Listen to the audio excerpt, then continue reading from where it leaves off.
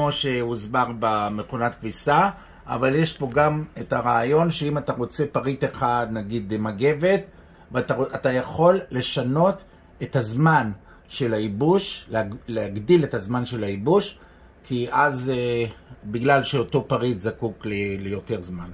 בדיוק.